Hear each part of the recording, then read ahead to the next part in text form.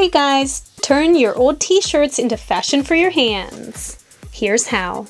Do you have some old t-shirts that you just don't like anymore but you'd hate to throw them out? Well, here's a way that you can turn them into something wearable. We're gonna make bracelets. Begin by taking a t-shirt that you're not fond of and just trim off the very end of the sleeve. You'll end up with pieces like this. I like to start with a piece like this so it's easier to work with cut off this chunky section. Cutting off about a quarter of an inch. That's the part I'm going to work with. Using the sleeve of the t-shirt works really well because it's already the right length to make a bracelet. What I really like about the end of the sleeve is that it's doubled over, so you're going to have a nice thick chunky bracelet. Get yourself a book Get yourself a clip. Put the clip up here at the top. This will hold your strings in place as you braid. Before I begin the braiding process, I'm actually going to knot the ends. Pull it real tight. Clip it down. If you don't know how to braid, you always just take the outside piece and bring it to the center. Then the other outside piece, bring it into the center. Keep alternating the outside pieces, bringing them in. You can make a loose braid or a tight braid, whatever you feel looks better.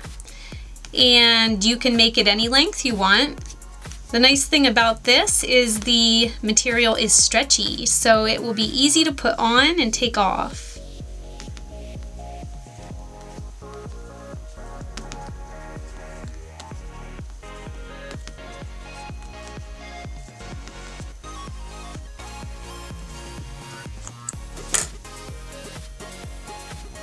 To tie it off, you can just lay the other end through it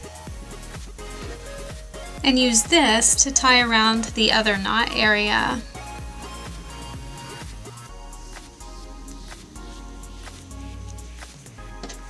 Just pull it nice and tight. And you know, I really like having this extra string at the end. I'm gonna leave it because I like what it looks like. So I'm just gonna double knot it.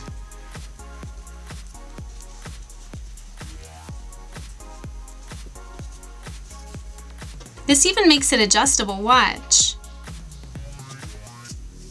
It's a slip knot. Trim it up to your liking. How cute is that? Is this not adorable, people?